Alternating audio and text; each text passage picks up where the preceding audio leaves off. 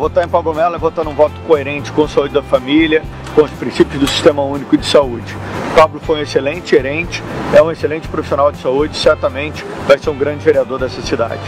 Por isso convido você, assim como o Dr. Daniel Sorange, vem comigo, Pablo Melo, 11 123.